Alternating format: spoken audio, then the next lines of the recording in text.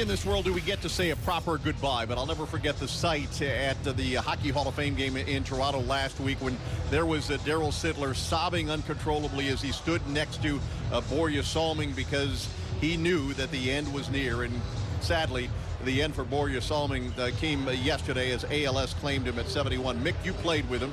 Kenny, you grew up in Toronto watching him. Mick, I'll start start with you. Your thoughts on the passing of the great oh, Borje Salming? You know, it's, it's such a dreaded disease, that thing, and it got after his lungs, apparently. It has two different ways to go. When you go to the lungs, you can't talk right away. That's what happened to Borje. I can remember Borje Salming. You can put the numbers in front of anybody, and it shows how great he was. But what I remember the most about Borje Salming, he absolutely took a pounding and a beating and a killing when he came over here from Sweden early.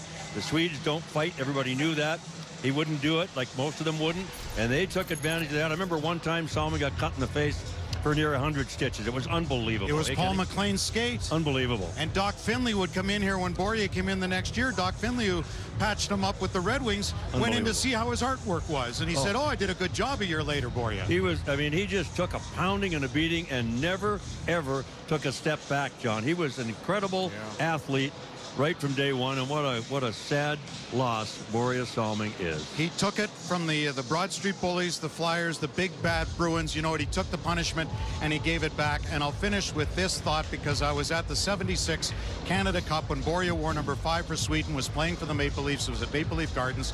He was on the blue line all alone. He got a standing ovation for minutes. And here he is, rare footage of him in a Detroit Red Wings uniform when he finished his career. And I'll say this from that 76 Canada Cup at Maple Leaf Gardens, Nick Lidstrom saw him that night and said, you know what?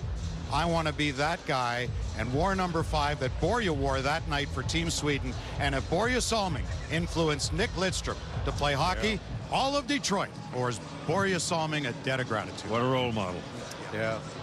Well, the great ones stay with us, and uh, that's certainly true for for Borje Salming. All those uh, those great moments we we have had watching him uh, play hockey, uh, largely with the uh, the Toronto Maple Leafs, and as Ken mentioned, he finished his career as a member of the Detroit Red Wings in the NHL. He was 71.